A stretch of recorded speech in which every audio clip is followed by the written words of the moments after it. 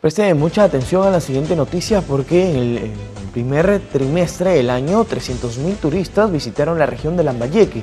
Así lo informó el gerente de turismo Félix Mío, quien sostuvo también que a final del 2024 esperan recibir a un millón y medio, millón y medio de visitantes.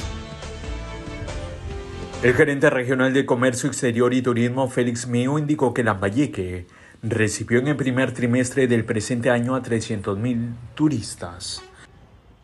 Estamos en un promedio de entre 95.000 a 100.000 turistas mensuales y tenemos ya más o menos eh, un promedio de a lo que va el primer trimestre de 2024, unos 300.000 turistas. Asimismo manifestó que con la posición de la marca Lambayeque espera que esta cifra crezca.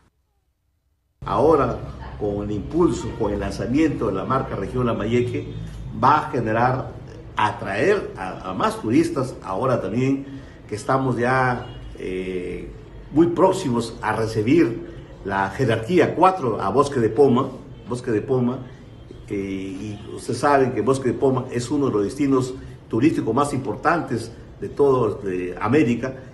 Apuntó que al final del año la expectativa es grande ya que esperan recibir un millón y medio de turistas. Bueno, eh, estamos, estamos trabajando para llegar a una meta ¿no? de, mucha expectativa de un millón y medio de, visitantes.